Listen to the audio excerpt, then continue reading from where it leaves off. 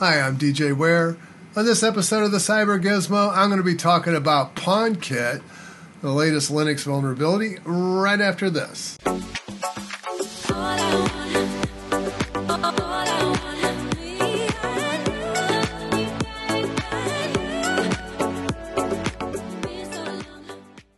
What I want to talk about today is Linux vulnerability CVE 2021 4034 or PwnKit as it's better known as. So let's let's talk a little bit about some of the backstory here. Qualys is a research team that discovered a memory corruption vulnerability in Polkits. There's an application called pkexec, and that is a utility application that is used to launch applications.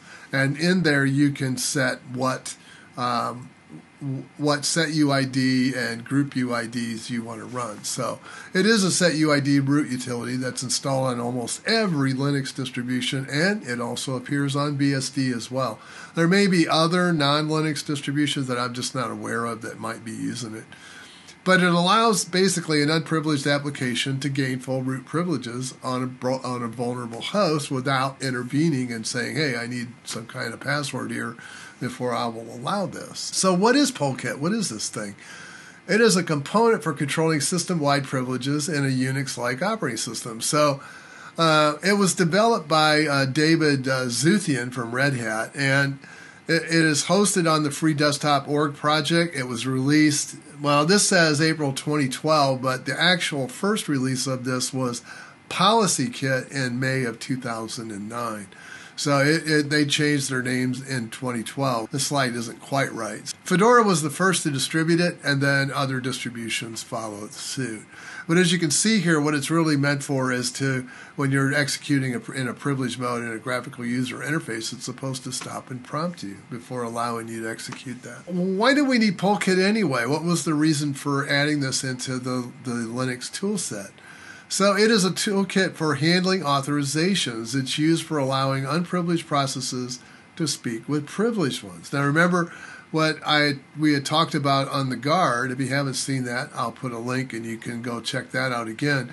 When you're dealing with uh, multiple level security or MLS, the lower level applications or the ones at lower security levels can only write. They're not they're not allowed to read from higher level security application. Basically, I can send messages to it, and I can, in this case, you can receive uh, some information back, but generally, you're passing off control to that higher privileged process so that they're able to come up and run or do whatever. In the past, we used to use set UID and group ID access controls uh, in the permissions, and the SUID is shown here uh, it's still used, although Polkit gets involved today with it, so it augments what's there. Uh, and you'll see that there's a read write S. The S is for set UID, which means that mount.nfs, if it executes, it executes as whoever is defined as the owner. If the S was in the second group of permissions, it would be the group ID, and then the execution of mount NFS would assume the role of that group when it was running. You can control you can control who owns the application when it comes up. However, uh, yeah, so that's what it's for. And so yeah, it always makes me nervous that we start running root applications without some authorization.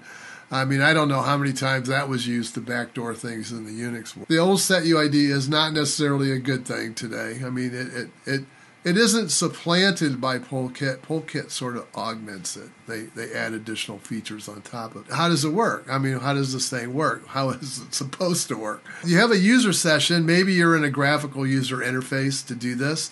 And when you start up, this authentication agent gets started up automatically with it. Uh, and that allows Polkit is comprised of an authority which is implemented as a service on top of the system message bus or DBus. Each user session has this authentication agent and it has actions that it can do which are defined to it through the policies which are called authorization rules. Who can set those actions? Applications can, vendors can, programmers can, sites, system administrators can even set them And those policies are allowing those specific actions and controlling what they can do and what they can't. What's this vulnerability? What what is it? well, the, let's talk about the impact first. So, first of all, an unprivileged user, someone that's just a regular user, can gain full root privileges on a vulnerable host. And those can be running Ubuntu and Debian, Fedora, CentOS. There's other Linux distributions that are likely to have the vulnerability that they just didn't test. The Qualys didn't test. So, and BSD also uses Polkit as well. However, I will say if you run an OpenBSD, their kernel does not allow the execution of an application if the argc, the arg count that you're passing to the uh, uh, pkexec is zero and won't even allow it to come up, which is a very wise idea given the fact we've had these problems in C and C++ before. But so what happens is is basically it's a drop through uh, problem. There's an if control block that's inside of of the uh, pkexec code that allows me to, if I fall through and I have an argument of basically if it falls all the way through, the argument count is zero. If it allows it to fall through, it will pick up information about what to execute from the uh, environment variable. Basically allows you to become root without a challenge.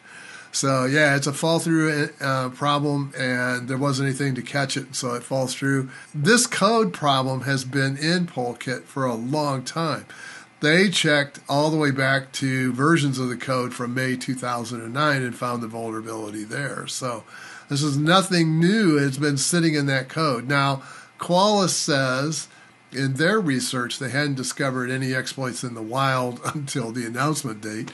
And I can tell you that after the announcement date on the 25th of uh, January, uh, yeah, the exploits have blown through the roof. What do you, given that, what should you be doing? Well, update your system as soon as possible. And the vulnerability has been fixed because Qualys, when they announced this to the public, they also published a patch. So yeah, and those those patches have been distributed out to Debian, Ubuntu, Linux Mint, and some and some of those others. Now, I did notice that on the Ras- Raspberry Pi OS, that the Polkit wasn't fixed immediately, but about four hours later, a patch became available. So, yeah, so not to worry, it, that is fixed there as well. So, how do you know if your system's been updated? How do you, how do you validate it? Now, there are uh, instructions that are different for Red Hat, so you might want to go check Red Hat's pages on how to validate whether the patch has been uh, how the patch is validated. But if you're on a Debian derivative like I am, I'll put this command in the description of this video so you can just run it. And it's uh, basically you're looking at a change log for Debian.gz. And in there, it should come back. This should come back with an entry that has CVE 2021 4034. And it might have some text after it that says hey, this vulnerability has been patched or something. But if it comes back with no response, then you're not protected. So you know you have the problem uh, on your system. So back to armchair quarterbacking or the elephant in the room if you prefer. So I have two questions that come to mind. So uh, given the issues we've experienced, all and myself included, with C and C++, when you're passing arguments to programs, if you're not careful, you can be in a memory unsafe condition. In other words, you could be you could be referencing memory that is not intended and not protected by the bounds of your application. The question is that I have here really is why don't we insist on writing software with unsafe memory uh, logic that can happen in it? Why, why we know that C now C is, is a lesser degree, but it's just as bad. So the other thing is is that Polkit I noticed version release number of 0.15.xxxxx. So that zero indicates it's pre-release usually. So only applications that have reached the full production state usually hit 1.0 and above. So the the fact that it is running at 0.15, if it truly is, and I went back through some of his of David's notes, and I see warning, warning, warning, warning. This is pre-release software. I'm wondering why we our distributions are allowing us to put this code into production. The other obvious statement is uh, it is good that security researchers are finally peeling back the code that we all assume is great, secure, and is invulnerable, right? and they're finding these vulnerabilities. I mean, I've heard this argument before. I've countered it many times in my videos about open source being more secure because people can go look at the source code. The question is, how many people actually go and look at the source code and then arrange tests to determine whether that source code is working or not? We do we used to do things called bounds testing where you would see how the program behaves if I were to give it garbage input on the argument on the command line to see how it would react. It's good that we have security researchers that are finally kicking the covers back and looking at the open source and seeing, well, how good is this stuff, really? Uh, is it, I mean, I'm not making an argument that open source is better or worse than commercial software. Is it good that our developers in the open source world? It is also good that developers in the open source world are stepping up. They're not trying to sweep this under the rug. They're not trying to hide it. They're they're like, okay, we'll fix it, and I think that's great. I mean, I have seen commercial vendors hide. They go running for the cover because they're going to get beat to death with clubs by their boss. But there is one axiom that I've always followed through. I want to pass this along to you. Never code for a condition you can't handle. In other words, that in this case, it was fall through logic that caused this exploit. So to me, that is, I didn't have a trap at the end that handled what else could go wrong. If anything else is happening here, I should trap it. I should exit the program and say, I got a problem. I, it's just like the OpenBSD kernel. I've got an argument count of zero and I've got data in the argv. What the heck is going on here? That's a problem. Yeah, you should always have at least one entry in the argv and one count because the program name is always passed. So if you get an arg count of zero, you've got a problem. There's something wrong here. And the other thing is that the trend today is to add complexity to things that are normally simple. So, like in the case of SUI, uh, set UID and, and set GID, yeah, they were simple, but they also had traps in them that were just as bad as this. I mean, yeah. So the um, the problem is is that we're adding complexity to software. Well, when you add complexity, you add you expand the pool of the risks. You expand the surface area or the attack surface of a software and expose additional risks that in your software to the outside world. That's all I had for today. I'm gonna I'm gonna step up my soapbox.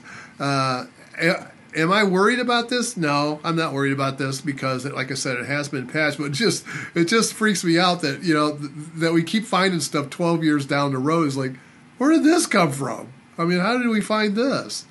Um, yeah, it's just it just boggles my mind how things work. So that's all I had for today. Hope you enjoyed this video. Please like and subscribe. Hope to see you all again in the next one. Good luck and bye for.